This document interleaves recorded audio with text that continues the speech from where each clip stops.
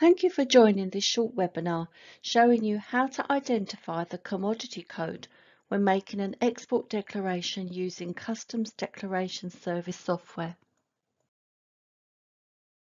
This is step two of a series of short webinars introducing the Customs Declaration Service guidance on completing an export declaration. This table sets out the step-by-step -step guides we'll be covering in this series. We will be showing you screenshots from gov.uk. HMRC is constantly improving the digital experience of our customers, so you may find that some of these screenshots will be slightly different to those that you'll see on gov.uk. This webinar series follows Grayson, who is exporting children's t-shirts from Great Britain to the USA. He has his own Customs Declaration Service software product, which means he can submit his own declarations. Grayson is completing an export standard declaration. It's important that Grayson follows the steps in order, otherwise his declaration will fail validation. To identify the commodity code, Grayson needs to ensure he is on the Navigate the CDS Declaration Instructions for Exports homepage. If Grayson scrolls down, he will see the 11 steps he needs to follow.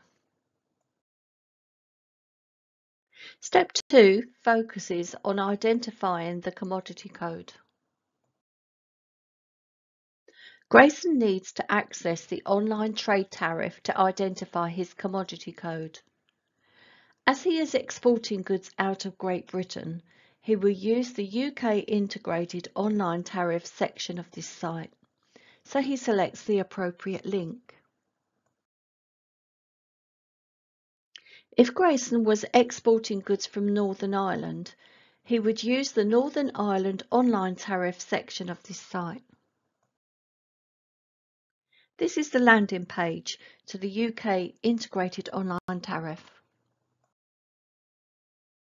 To search for a commodity code, Grayson scrolls down the page to the search facility. Grayson enters t-shirts here to find the possible commodity codes. He may wish to enter the date his goods will be traded.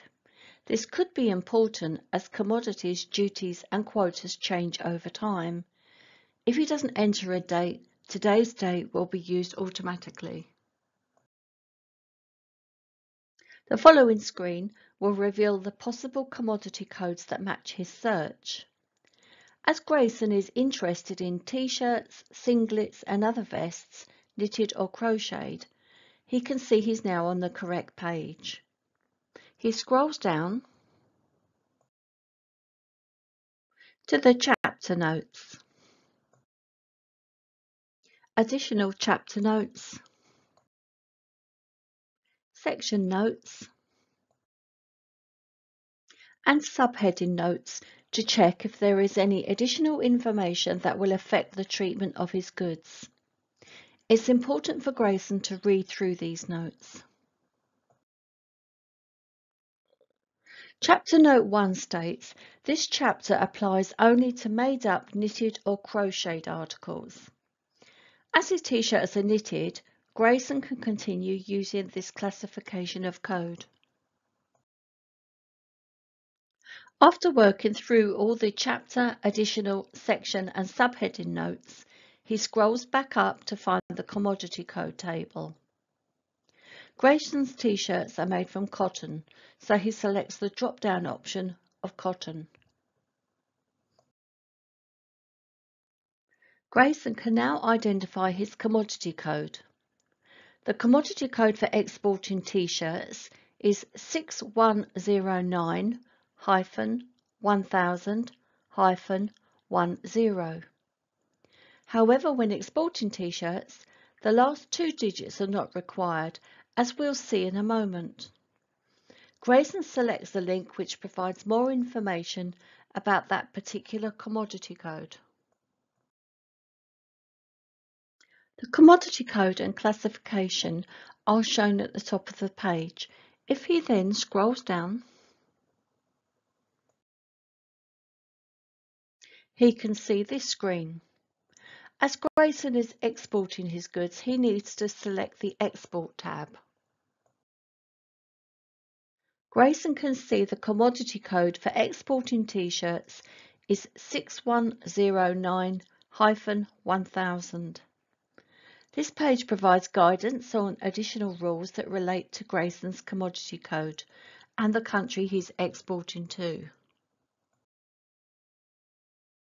For instance, if he was exporting to Belarus, he would need to select the Conditions link and read any conditions that might apply. Grayson can use the drop-down option to specify which country he's exporting to. As he's exporting goods to the United States, he selects United States from the drop-down menu.